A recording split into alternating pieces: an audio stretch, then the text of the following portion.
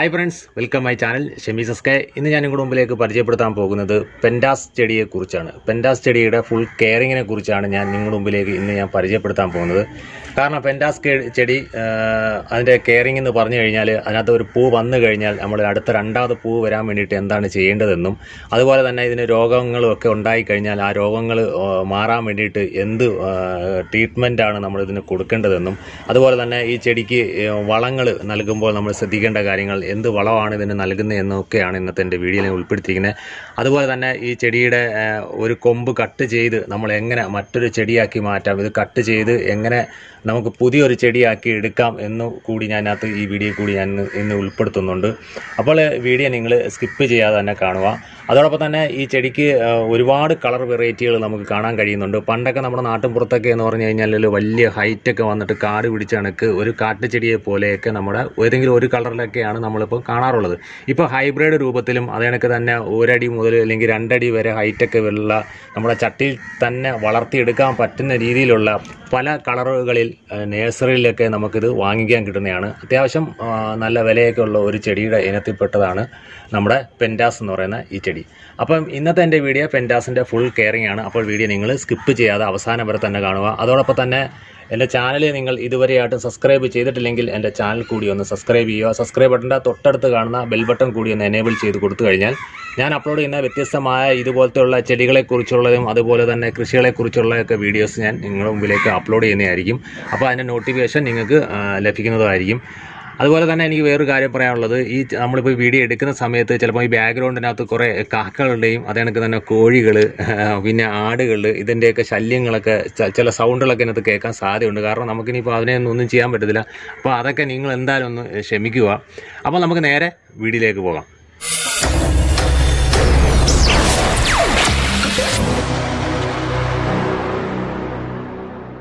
ഞാനിപ്പോൾ കാണിക്കുന്നത് ഇപ്പോൾ ഞാൻ ഈ ഒരു വെറൈറ്റി കളറാണ് കാണിക്കുന്നത്. ഇപ്പോൾ ബാക്കി വെറൈറ്റി കളേഴ്സൊക്കെ കുറേ ഉണ്ട്. അതിന്റെ ഒന്നും പൂക്കളൊന്നും ഇല്ലാത്തതിന്റെ പേര് പൂക്കളൊക്കെ ആയി വരുന്നേ ഉള്ളൂ. വളങ്ങളൊക്കെ ചെയ്ത് പൂക്കളൊക്കെ ആയി വരുന്നേ ഉള്ളൂ. അതുകൊണ്ട് ഞാനിപ്പം ഈ ഒരു കളർ മാത്രം ജസ്റ്റ് ഞാൻ കാണിച്ചു പോവുകയാണ്. അടുത്ത ഞാൻ നിങ്ങളുടെ മുമ്പിലേക്ക് ഇനി പരിചയപ്പെടുത്താൻ പോകും നമുക്ക് ഇപ്പം ഒരു പൂ വന്നിട്ടുണ്ട്. ഇപ്പോൾ പൂ പല രീതിയിൽ കൂടെ ഇങ്ങനെ പൂക്കൾ മുട്ടകളൊക്കെ ആയിട്ട് അപ്പോൾ ഇതൊക്കെ കണ്ടു കഴിഞ്ഞാൽ അറിയാം.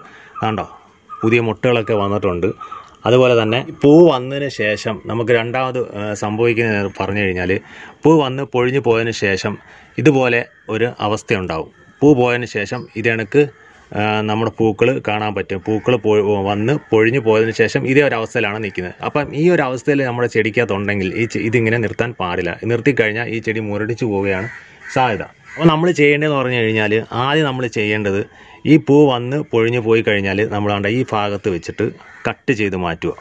ഒരു കത്രിക വെച്ചിട്ട് നമ്മളിങ്ങനെ കട്ട് ചെയ്യുക. കട്ട് ചെയ്യുമ്പോൾ നമ്മൾ പ്രത്യേകം ശ്രദ്ധിക്കേണ്ട വേറൊരു കാര്യം എന്ന് പറഞ്ഞാൽ അങ്ങനെ അറ്റത്ത് താഴ്ഭാഗത്ത് കൊണ്ടുപോയി കട്ട് ചെയ്യരുത്. കുറച്ച് മുകളിലോട്ട് വെച്ചിട്ട് പകുതി വെച്ചിട്ട് നമ്മളിത് കട്ട് ചെയ്ത് മാറ്റി കൊടുക്കുക.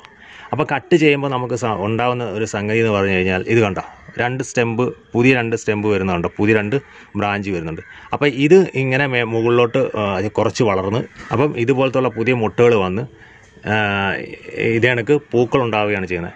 അപ്പോൾ നമ്മൾ ഇപ്പോൾ ഇതിനകത്ത് ഈ ചെടിക്കാൻ നോക്കിക്കഴിഞ്ഞാൽ ഫുള്ള് അതാണ് കണ്ടോ? ഇത് കണ്ടോ? ഇത് നമ്മൾ അതിനക്ക് കട്ട് ചെയ്ത് ഒഴിവാക്കി മാറ്റുക. നമ്മുടെ അതേ കണക്ക് തന്നെ നമ്മുടെ ലീഫുകളൊക്കെ ഉണങ്ങി നിൽപ്പുണ്ടെങ്കിൽ ആ ലീഫുകൾ അതൊക്കെ ഒന്ന് കട്ട് ചെയ്ത് ഒഴിവാക്കി വിടുക. ഇതുപോലെ നിൽക്കുന്നതൊക്കെ നമ്മളൊന്ന് ജസ്റ്റ് ഒന്ന് കട്ട് ചെയ്ത് മാറ്റി കൊടുക്കുക. ഓക്കെ. കട്ട് കഴിഞ്ഞ് ചെയ്തതിന് ശേഷം നമ്മൾ പിന്നെ അടുത്ത ചെയ്യേണ്ടതെന്ന് പറഞ്ഞു കഴിഞ്ഞാൽ വളക്രമീകരണമാണ്. വളക്രമീകരണം എന്ന് പറഞ്ഞു കഴിഞ്ഞാൽ ഞാനിപ്പം ഈ ചെടിക്കകത്ത് ഓൾറെഡി നമ്മൾ ഈ ചെടി നട്ടപ്പോൾ തന്നെ അതിനകത്ത് പോട്ടി മിക്സ് ആയിട്ട് കുറേ ചാണാപ്പൊടി വേപ്പും മുണ്ണാക്കി എല്ലുപൊടി ചകിരിച്ചോറും മണ്ണും എല്ലാം കൂടെ മിക്സ് ചെയ്താണ്. നമ്മൾ സാധാരണ ഒരു ചെടി നടുന്നത് പോലെ തന്നെയാണ് നമ്മൾ ഇപ്പോൾ ഇതിനകത്ത് നട്ടിരിക്കുന്നത്. അപ്പോൾ ഞാനതിപ്പം ഇതിന്റെ ഒരു കൊമ്പ് കട്ട് ചെയ്ത് വേറൊരു ചെടി നടുമ്പോൾ അതിനകത്ത് ഞാൻ നിങ്ങൾക്ക് കാണിച്ചു തരുന്നുണ്ട്. അപ്പം ഇനി നമ്മളിനി ചെയ്യാൻ പോകുന്നതെന്ന് പറഞ്ഞു കഴിഞ്ഞാൽ രോഗം വന്നു കഴിഞ്ഞാൽ എന്താണ് ചെയ്യേണ്ടതെന്നുള്ളതാണ് നമ്മൾ ചെയ്യുന്നത്.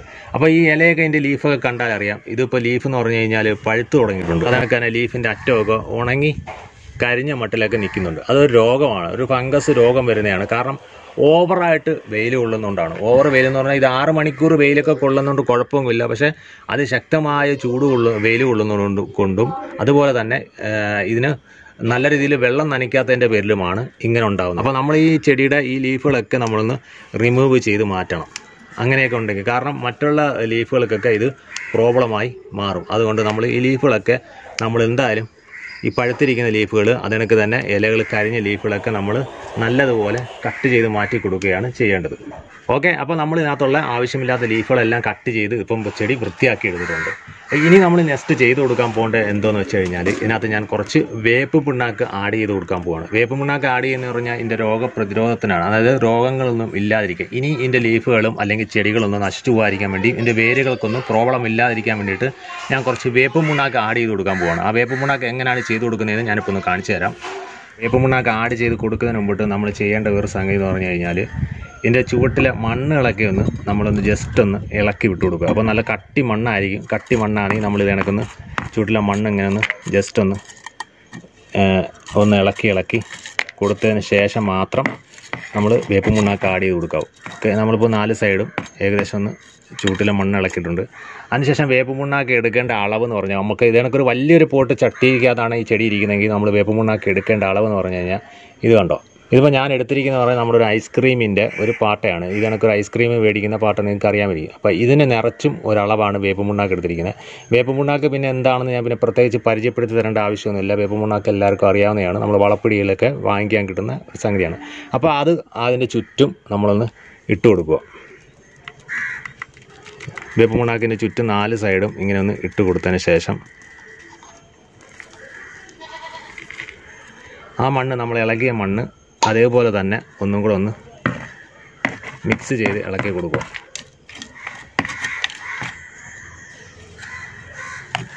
ഒന്ന് മിക്സാക്കി ജസ്റ്റ് ഒന്ന് മിക്സാക്കി ഇട്ട് കൊടുത്താൽ മതി. വേപ്പ് മുണ്ണാക്ക് അങ്ങനെ അടിയിൽ വരെ എത്തണമെന്നില്ല അത് വെള്ളം നനയ്ക്കുമ്പോൾ നമ്മൾ അത് ഓക്കെ ആയിക്കോളും. ഇനി ഇതിന് കുറച്ച് വെള്ളം. വെള്ളം നമ്മൾ നനച്ച് കൊടുക്കുകയാണ്.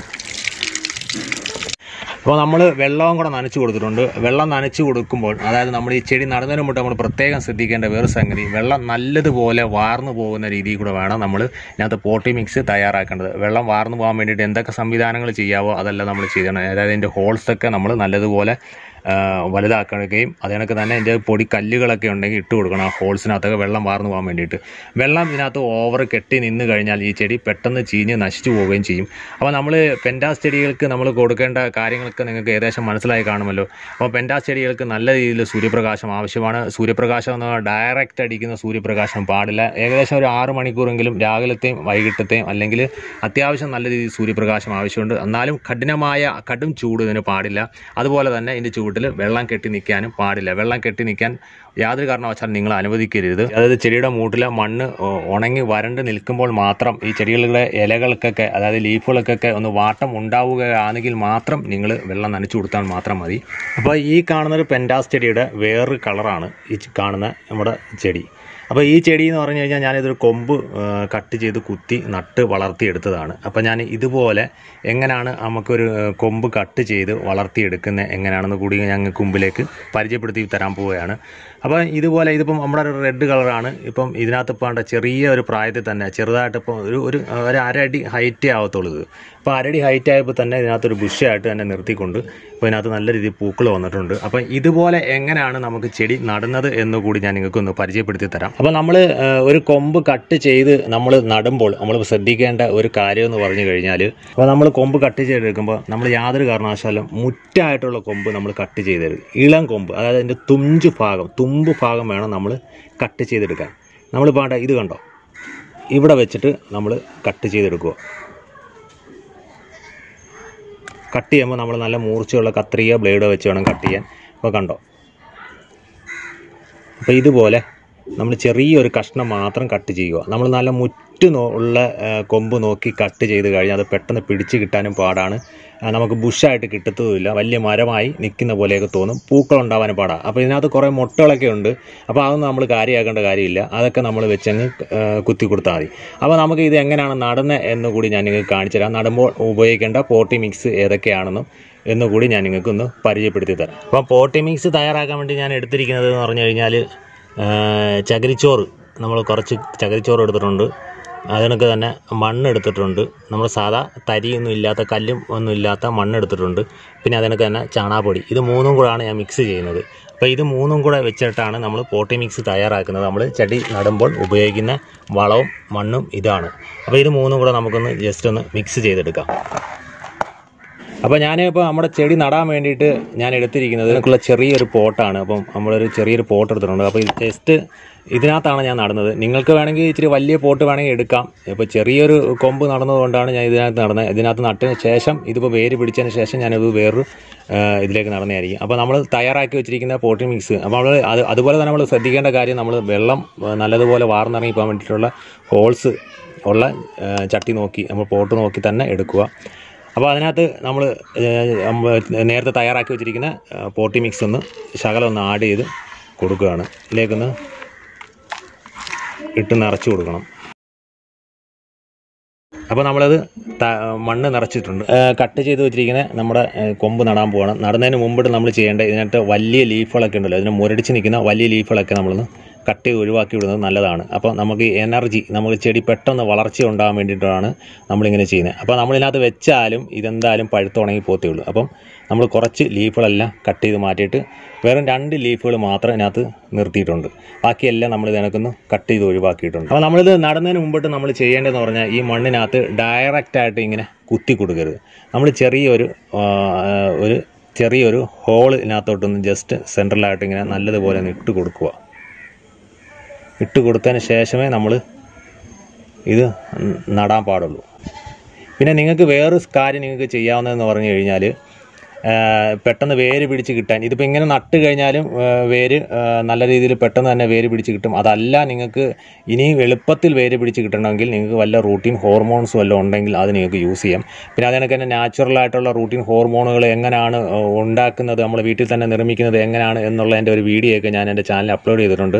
അതിന് ലിങ്ക് ഞാൻ ഡിസ്ക്രിപ്ഷനിൽ കൊടുത്തിട്ടുണ്ട്. ആ ലിങ്ക് നിങ്ങൾ ഓപ്പൺ ചെയ്ത് നോക്കിക്കഴിഞ്ഞാൽ എങ്ങനെയാണ് നാച്ചുറൽ ആയിട്ടുള്ള റൂട്ടീൻ ഹോർമോൺസ് നമുക്ക് നമ്മുടെ വീട്ടിൽ തന്നെ നിർമ്മിക്കാം എന്ന് നിങ്ങൾക്കത് മനസ്സിലാവാൻ പറ്റുന്നതായിരിക്കും.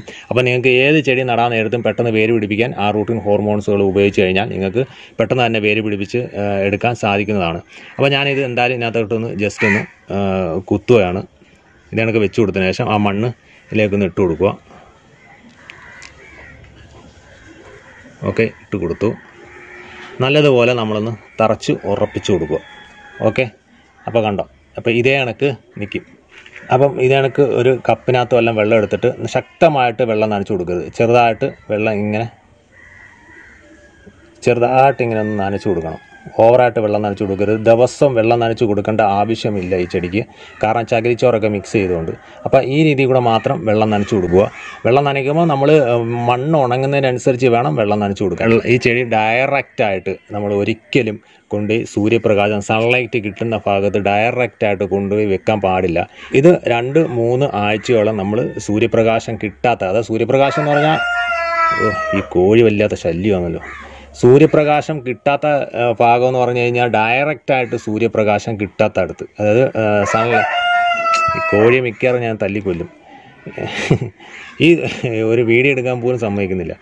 അപ്പം സൂര്യപ്രകാശം കിട്ടാത്ത അതായത് അത്യാവശ്യം സൺലൈറ്റ് കിട്ടണം.